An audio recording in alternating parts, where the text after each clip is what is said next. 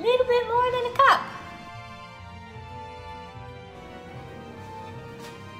Exhibit B.